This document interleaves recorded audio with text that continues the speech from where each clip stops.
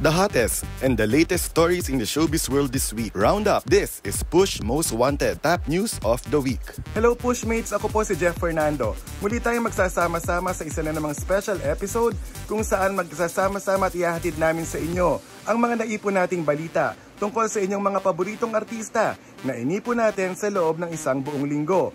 Pero bago ang lahat, Huwag niyo pong kalimutan na mag-like, follow at subscribe sa ating social media pages para lagi kayong updated sa mga ganap ng inyong favorite stars. Empress Shook, Dion Monsanto, ikinasal na sa kanilang partners. Masayang masayang aktres na sina Empress Shook at Dion Monsanto dahil finally ay ikinasal na sila sa kani-kanilang mga fiancé.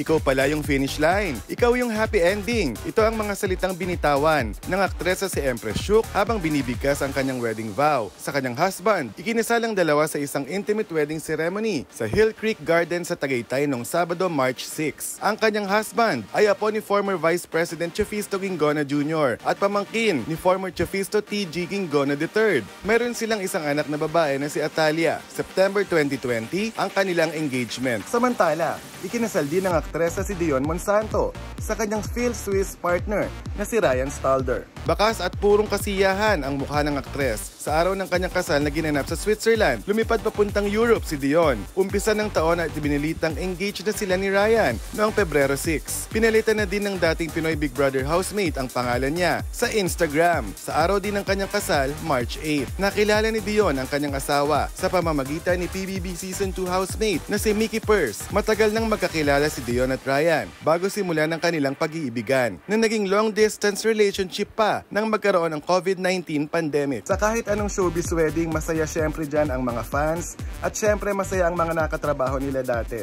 Dahil syempre lahat tayo ay naghahanap ng magmamahal sa atin at makakasama ng happily ever after. Masayang balita ulit para sa ating top news number 4 dahil face reveal naman ito ng baby ng dalawang sikat na celebrity. Meryl Soriano, ipinakita ang mukha ng anak nila ni Joe M. Bascon. Matapos ang ilang buwan, finally, ipinakita na ni Meryl Soriano ang itsura ng baby nila ng partner na si Joe M. Bascon. Ibinahagi ng aktres ang larawan ng kanyang anak sa Instagram noong biyernes March 5. Matatanda ang New Year's Day nang ibinunyag ni Meryl na nagkabalikan sila ni Joe M. Ngayon ay mayroon na silang anak. Samantala, hindi naman nagbigay ng iba pang detalye si Meryl tungkol sa anak tulad ng pangalan at birthday nito. Wala nang masasaya pa sa mga istorya sa showbiz sa dalawang nagmamahalan na nagkabalikan at muling biniyayaan ng baby. ba? Diba? Yan ang nangyayari ngayon kay Meryl at kay Joem. Congratulations sa inyong dalawa.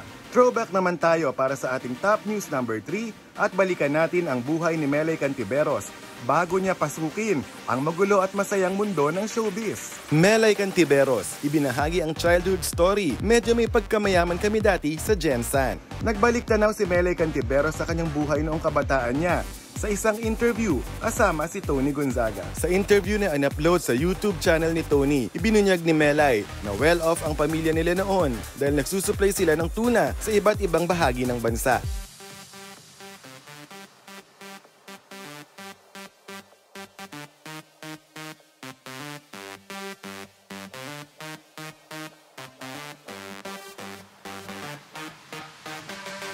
Gayunpaman, nabago ang buhay ng kanilang pamilya dahil sa isang insidente kung saan hinuli ng Indonesian authorities ang kanilang bangka dahil lumagpas ito sa boundary ng Indonesia.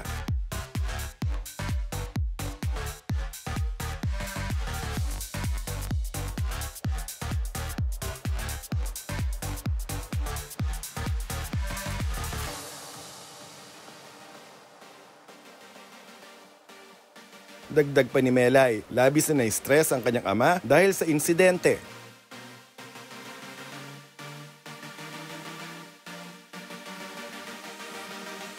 Ayon pa kay Melay, kailangan din nilang suportahan ang pamilya ng kanilang mga tauhan na kasamang nahuli ng mga Indonesians.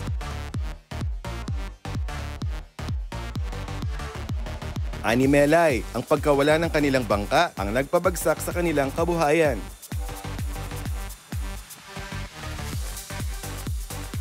Samantala muling nagbago ang buhay ng pamilya ni Melay nang sumali siya at itinanghal bilang big winner sa PBB Double Up noong 2010. Napaka-revealing ng bahagi ng buhay na ito ni Melay at siguradong lalong marami ang mag inspire o may inspire lalo sa kanya dahil nalagpasan niya ito at hindi niya iniwan ang kanyang responsibilidad. Para sa ating top news number 2, isa na naman nga kayang kontrobersyal na hiwalayan ang yayanig sa mundo ng showbiz sa mga susunod na araw.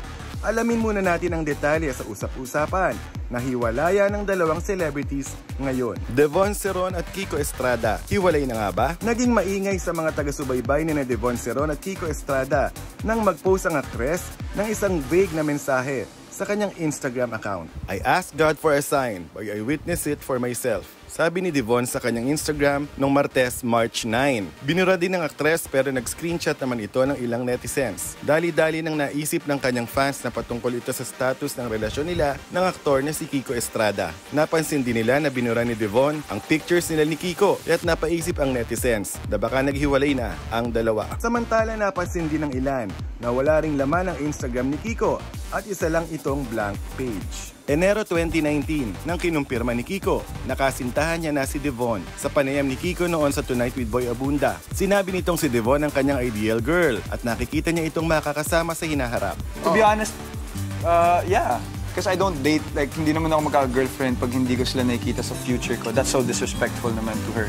And I do see her in my future and I hope she's the one. Nagkatrabaho sa dalawang pelikula si Devon at Kiko, Puwera Usog at Walwal. Sa kahit anong hiwalayan sa showbiz, ang daming nagsasabi na ito ang ifiesta dahil kumbaga marami ang pwedeng anggulong isulat, maraming pwedeng magsalita, maraming pwedeng mag-opinyon.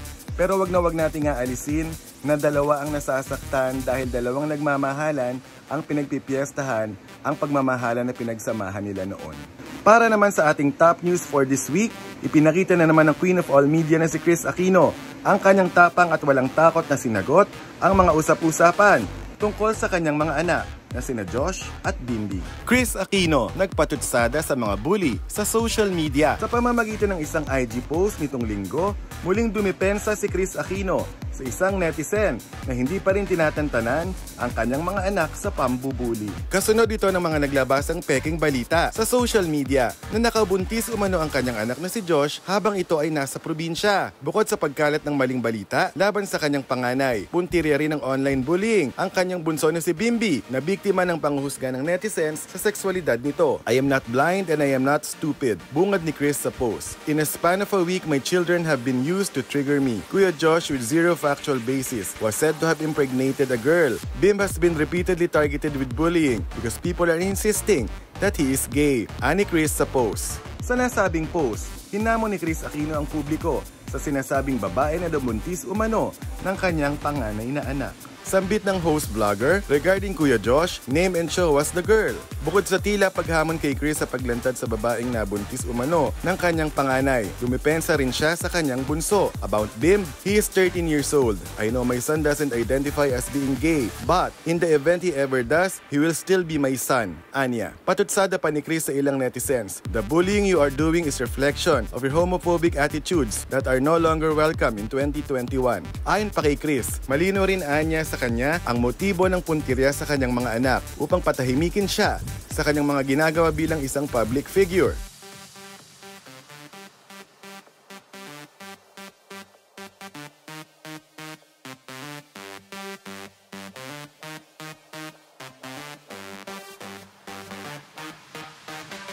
Nagsilita din si Chris bilang isang ina at ikinumpara pa ang sarili sa isang lioness.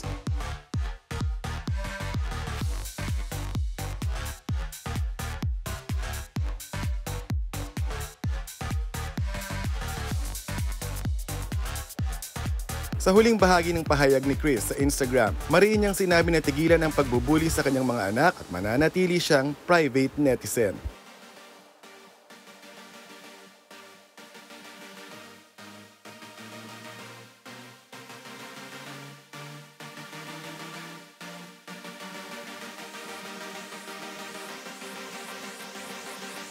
Hindi ito ang una at huling pagkakataon na ipagtatanggol ni Chris Aquino ang kanyang mga anak dahil isa nga siyang nanay.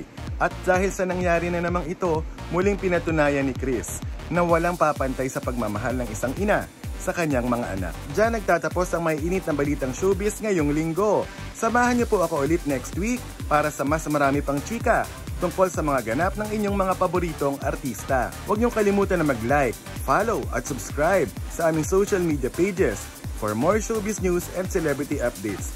Muli, ako po si Jeff Fernando para sa Push Most Wanted.